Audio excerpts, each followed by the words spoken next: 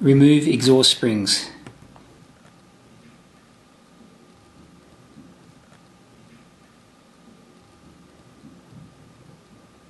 Remove exhaust mounting support locking nuts.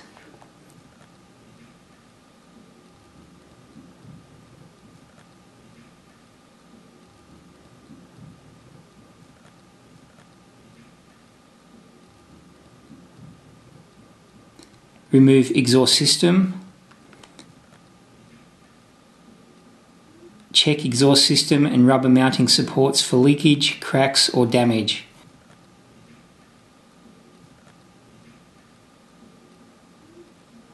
Remove the rivets from silencer tube with a 4mm drill and a 4mm pin punch.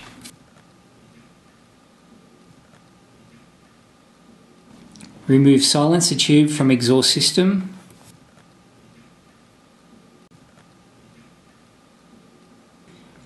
Remove exhaust matting, check for burnt out areas.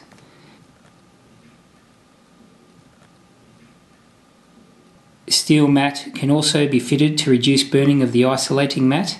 Refer to the fitting instructions for correct measurements. This steel mat is compulsory for Micromax class.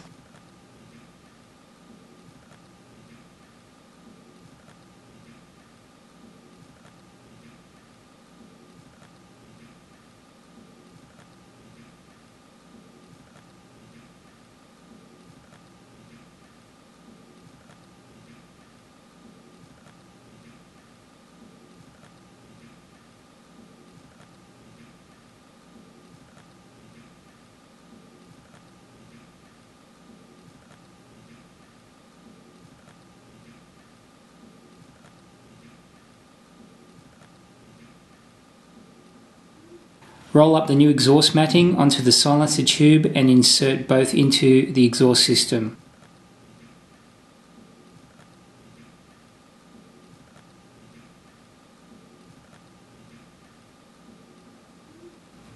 Fix silencer tube with three M4 by 12mm screws and locking nuts.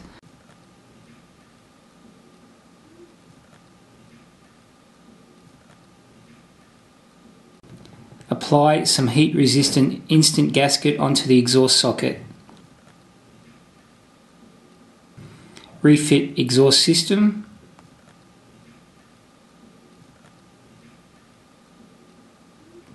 Refit exhaust springs.